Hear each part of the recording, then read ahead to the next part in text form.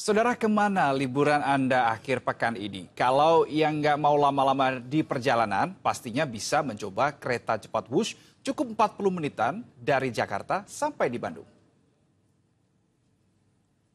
Siapa nggak pengen coba sensasi naik kereta dengan kecepatan 350 km per jam? Ya, sejak diluncurkan hampir satu tahun lalu, kereta cepat Wush sudah jadi primadona sendiri di kalangan wisatawan. Setiap akhir pekan, stasiun Halim selalu dipadati penumpang. Hingga siang ini, sudah 90 persen tiket yang ludes terjual. Sedikitnya 15 ribu penumpang meluncur cepat meninggalkan Jakarta menuju Bandung.